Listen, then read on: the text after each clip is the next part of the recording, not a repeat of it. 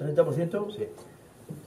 Es el único tratamiento biológico para las aguas residuales que hay ahora mismo en Europa.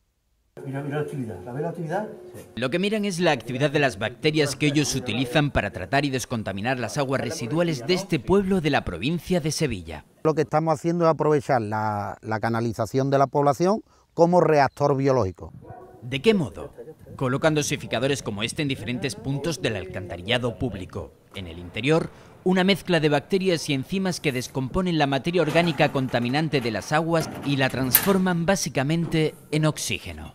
Entre dos minutos y medio, cinco minutos, dependiendo de la zona y demás, ha de soltar una gota. Cada gota lleva un millón de bacterias. Y esos millones de bacterias se extienden por toda la red.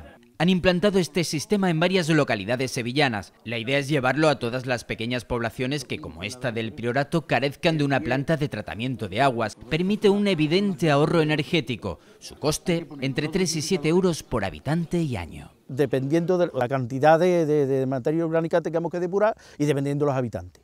Basan su idea en un experimento de científicos de Estados Unidos en Río Tinto a finales de los años 80. Ellos usaron bacterias para regenerar la flora y la fauna. Estos emprendedores andaluces las usan para tratar las aguas residuales de pueblos como este, con un éxito tal que ahora caen ya limpias en este arroyo.